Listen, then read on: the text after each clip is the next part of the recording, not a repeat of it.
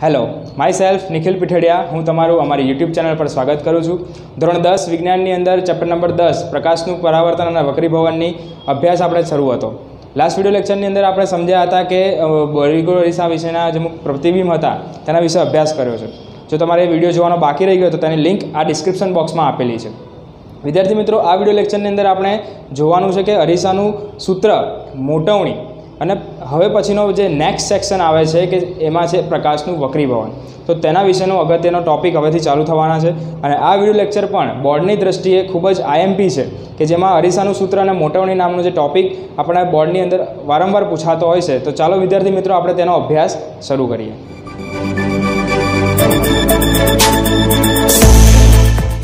તો વિદ્યાર્થી મિત્રો, અરીસાનું સૂત્ર અને મોટવણી. અરીસાનું સૂત્ર એટલે કે શું? કે જે પણ પ્રતિબિંબ હશે, માની લો કે એક આપણે અહીંયા એક આકૃતિ તમને બતાવેલી છે, તેની અંદર એક વસ્તુ છે, વસ્તુનું જે કિરણ નીકળીને એ અરીસાના ઉપર અથડાઈને ત્યાંથી મુખ્ય કેન્દ્રમાંથી પસાર થઈને આપણને અહીંયા પ્રતિબિંબ આપે છે એડેસ બીડેસ અહીંયા જે વસ્તુનું નામ છે એ બી અને અહીંયા આપણને પ્રતિબિંબ મળે છે એડેસ બીડેસ હવે શું થાય છે કે જે કિરણ અહીંયા આવીને જે પ્રતિબિંબ આપે છે, એટલે કે વસ્તુથી લઈને, કદાચ એમ કહેતા કે ભાઈ જે અરીસો છે, અરીસાના ધ્રુવ પીથી લઈને વસ્તુના સુધીના જે અંતર થયું, જે ડિસ્ટન્સ છે બંને વચ્ચેનું, તેને આપણે કહીશું વસ્તુ અંતર યુ સમજો વિદ્યાર્થી મિત્રો. ધ્રુવ પીથી લઈને વસ્તુ સુધીનું અંતર, એટલે કે વસ્તુ અંતરને કહીશું યુ ત્યારબાદ પ્રતિબિંબ અને જે ધ્રુવ છે પી એ ધ્રુવ પી અને પ્રતિબિંબના અંતરને આપણે કહીશું વી તથા જે કેન્દ્ર જે મુખ્ય કેન્દ્ર છે એફ અને જે આ ધ્રુવ પ્રી છે, તે બંનેના વચ્ચેના અંતરને આપણે કેન્દ્ર લંબાઈ સ્મોલ એફ તરીકે દર્શાવવામાં આવે છે. તો આ રીતે વરિસાના સૂત્રની અંદર જે મહત્ત્વના ત્રણ જે સંજ્ઞા કહી શકાય, તે યુ વી અને એફ તો તેના ઉપરથી એક સૂત્ર બને છે one upon v plus one upon u is equals to one upon f ખાસ યાદ રાખજો, અહીંયા મેં આઈએમપી લખી જ દીધું છે. One upon v plus one upon u is equals to one upon f બોર્ડની અંદર પણ ઘણી વખત પૂછાય છે, જૂના કોર્સની અંદર પણ હતું અને નવા કોર્સની અંદર પણ આ વસ્તુ સામેલ કરવામાં આવી છે. તો વિદ્યાર્થી મિત્રો, આ અરીસાનું સૂત્ર ખાસ આપણે મોઢે કરવાનું છે.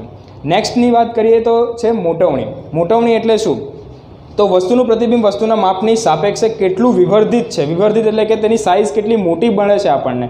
તે પ્રતિબિંબ, વસ્તુ અને પ્રતિબિંબ આ બંને વચ્ચેની અંદર કયું વસ્તુ છે? મોટું છે. એ દર્શાવતું જે પદ છે તેને કહેવામાં આવે છે મોટવણી. મોટવણીને જનરલી એમ તરીકે દર્શાવવામાં આવે છે સ્મોલ એમ તો મોટવણીને સ્મોલ એમ તરીકે દર્શાવીશું. તો હવે એનું સૂત્ર પણ સમજીએ. તો મોટવણીનું સૂત્ર છે એમ ઇઝ ઇક્વલ્સ ટુ પ્રતિબિંબની ઊંચાઈ છેદમાં વસ્તુની ઊંચાઈ. તમે અહીંયા જુઓ, વિદ્યાર્થી મિત્રો, કે આની બી કંઈક ઊંચાઈ છે અને આની પણ કંઈક ઊંચાઈ છે. આની ઊંચાઈને હું એચ ડેશ કહી શકું છું અને આની ઊંચાઈને હું એચ કહું. તો જે આના માટે આવશે એચ ડેશ અપોન એચ એટલે આપણા માટે સૂત્ર શું બન્યું? પ્રતિબિંબની ઊંચાઈ છેદમાં વસ્તુની ઊંચાઈ. એટલે કે એચ ડેશ અપોન એચ જે એમ બરાબર મોટવણીનું સૂત્ર કહી શકાય. તથા આપણે કદાચ એવી પણ વાત કરીએ કે વસ્તુ અને પ્રતિબિંબને સાથે લેવામાં આવે. તો કે વસ્તુનું પ્રતિબિંબ છે એ પ્રતિબિંબનું અંતર અને વસ્તુના અંતરથી પણ આપણે મોટવણી શોધી શકીએ છીએ. તો એનું બીજું સૂત્ર આપણે અહીંયા ધ્યાન રાખીએ કે માઇનસ વી અપોન યુ, એટલે કે પ્રતિબિંબનું અંતર છેદમાં વસ્તુનું અંતર. તો આ આપણા માટે માઇનસ વી અપોન યુ આપણે ખાસ યાદ રાખીશું. વી છે તે આપણા માટે પ્રતિબિંબનું અંતર છે અને યુ છે એ પ્રતિ વસ્તુનું અંતર છે. તો અહીંયા આપણને મોટવણીનું બીજું સૂત્ર પણ ખબર પડી. તથા હવે એની સાથે કંઈક અમુક સંકળાયેલી બાબતોનો વાત કરીએ. તો વસ્તુની ઊંચાઈ હંમેશા ધન લેવામાં આવે છે. મોટવણીની અંદર વસ્તુની ઊંચાઈ હંમેશા ધન લઈશું. એટલા માટે અહીંયા ધન લેવા, અહીંયા યુ બરાબર પ્લસ યુ છે. તથા આભાસી પ્રતિબિંબો માટે પ્રતિબિંબની ઊંચાઈ ધન અને વાસ્તવિક પ્રતિબિંબ માટે પ્રતિબિંબની ઊંચાઈ ઋણ લેવામાં આવે છે. એટલે કે જો આ એવું ને એવું મને મળ્યું હોત તો આ વાસ્તવિક પ્રતિબિંબ તો છે, પરંતુ ઉલટું છે. ઉલટું હોવાના કારણે અહીંયા માઇનસ વી આવેલો છે. એટલે કે વાસ્તવિક પ્રતિબિંબ માટેની ઊંચાઈ આપણને અહીંયા ઋણ આપેલી જ છે, આપણને કીધું. જો મોટવણી ઋણ, તો વાસ્તવિક પ્રતિબિંબ હોય. જો ઋણ મોટવણી હોય, તો પ્રતિબિંબ કેવું આવશે? વાસ્તવિક. અને જો મોટવણી ધન હશે, તો પ્રતિબિંબ આવશે આભાસી. તો આ રીતે આપણે મોટવણીને લગતી અમુક બાબતોનો અભ્યાસ કર્યો. વિદ્યાર્થી મિત્રો, ખાસ હવે પછીનો જે નવો ટોપિક આપણે ચાલુ થાય છે આપણે ચેપ્ટરનું નામ જ છે કે પ્રકાશનું પરાવર્તન અને વક્રીભવન તેમાંથી પરાવર્તન પૂર્ણ કર્યા બાદ હવે આપણે આવીએ છીએ કે વક્રીભવન ઉપર. તો વક્રીભવન શું છે? કેવી રીતે વક્રીભવન પ્રકાશનું થઈ રહ્યું છે તેની વાત કરીએ. પ્રકાશનું વક્રીભવન એટલે શું? તો એક માધ્યમમાંથી બીજા માધ્યમમાં ત્રાસી રીતે પ્રવેશતા પ્રકાશના ત્રાંસા કિરણની પ્રસરણની દિશા એ બીજા માધ્યમમાં બદલાય છે અને આ ઘટનાને પ્રકાશનું પરાવર્તન કહે છે. તમને એક નાની અમથી વાત કરું અહીંયા, કે એક આ માની લો કે એક આ માધ્યમ છે. ઉપર માધ્યમ વન છે અને નીચે માધ્યમ ટુ છે, બરાબર? હવે જ્યારે પ્રકાશનું કિરણ આવે છે, તો આ રીતે જ્યારે માની લો કે પ્રકાશનું કિરણ આમાં આવ્યું, અને જેવું જ માધ્યમને અડે, એટલે કે આ બંને માધ્યમને છૂટી પાડતી જે સપાટી છે, આ સપાટીમાંથી પસાર થશે, એટલે એ કિરણ સહેજ અમથું ત્રાસું વળી જાય છે. એટલે કે તમે જુઓ કે કિરણ જે દિશામાં આવ્યું એ દિશામાં જ્યારે આવ્યા બાદ જે માધ્યમનો છૂટી પાડતી સપાટી હતી, તે છૂટી પાડતી સપાટી ઉપરથી તે કિરણ કેવું થયું? સહેજ વાંકું વળી ગયું છે. એટલે કે ત્રાસું થયું અને ત્રાસું થઈને એની પ્રસરણની દિશા આગળ તરફ જાય છે અને બદલાઈ જાય છે. તો બીજા માધ્યમમાં તેની પ્રસરણની દિશા બદલાઈ અને આ રીતે જે પ્રકાશનું કિરણ આગળ વધે છે, એટલે કે તે પ્રકાશનું વક્રીભવન થાય છે. તો પ્રકાશનું વક્રીભવન જુદા જુદા માધ્યમમાં પ્રકાશની ગતિ અલગ અલગ અને જુદા જુદા પ્રમાણમાં થાય છે. જેમ કે કાચની વાત કરીએ તો કાચની અંદર એની પ્રકાશની ગતિ અલગ હોય છે. પાણીની વાત કરીએ તો પાણીની અંદર તેની સપાટી જે ગતિ હશે પ્રકાશનું, કિરણની, તે અલગ અલગ હોય છે. એટલે કે માધ્યમ બદલાતા તેની સપા, તેની જે ગતિ છે પ્રકાશની, તે બદલાતી હોય છે.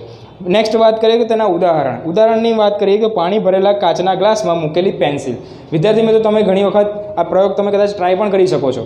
કાચના ગ્લાસની અંદર જો તમે પાણી નાખો અને પછી તેની અંદર પેન્સિલ મૂકવામાં આવે, તો પેન્સિલના એક ક્રોસ એમાં જોવામાં મળે છે. તો પેન્સિલનો ક્રોસ જે જોવા મળે છે એટલે શું થશે કે એમ લાગે છે કે પેન્સિલ અડધી આગળ છે ને અડધી પાછળ છે. સહેજ ત્રાસી દેખાય છે. જેમાં આ સપાટી છે, એમ અહીંયા માની લો કે પેન્સિલ આમ મૂકી હોય, તો પેન્સિલ એક છે આ રીતે. પણ તે પાણીની અંદર જ્યારે આપણે જોઈશું, ત્યારે તે સહેજ અમથી વળેલી દેખાશે. તો આ રીતે એક ઉદાહરણ આપણને કીધું છે કે પાણી ભરેલા કાચના ગ્લાસમાં મૂકેલી પેન્સિલ તથા પાણીમાં પદાર્થની સપાટી ઉપસેલી દેખાવી. ઘણી વખત આપણે માની લો કે ટાંકીની અંદર જોતા હોઈએ તો આપણને એમ લાગે કે તળિયું એકદમ નજીક છે, ઉપસેલું લાગશે. તો આ પ્રકાશના પરાવર્ત વક્રીભવનના કારણે તે વસ્તુ આ બનતી હોય છે. એટલે કે પ્રકાશનું વક્રીભવન આ રીતે થતું હોય છે. તો હવે આપણે નેક્સ્ટ વીડિયો લેક્ચરમાં ખાસ અગત્યનો ટોપિક કે કાચના લંઘન વડે, જે આપણે વાત કરી કે અલગ અલગ માધ્યમની અંદર અલગ અલગ વક્રીભવન થાય છે પ્રકાશનું. તો હવે નેક્સ્ટ વીડિયો લેક્ચરની અંદર આપણે જોઈશું કે પ્રકાશનું જે વક્રીભવન છે તે કાચના લંઘનની અંદર કેવી રીતે થાય છે, તે પણ એક ખૂબ જ આઈએમપી પ્રશ્ન કહી શકાય. હવે પછીના દરેક વીડિયો આઈએમપી છે. તો વિદ્યાર્થી મિત્રો, ખાસ આપ સમજીને તેનો અભ્યાસ કરશો. જો તમને અમારા આ વીડિયો ગમ્યો હોય, તો અમારા વિડીયોને લાઇક કરો શેર કરો અને અમારી ચેનલને સબસ્ક્રાઈબ કરો. આપનો ખૂબ ખૂબ આભાર.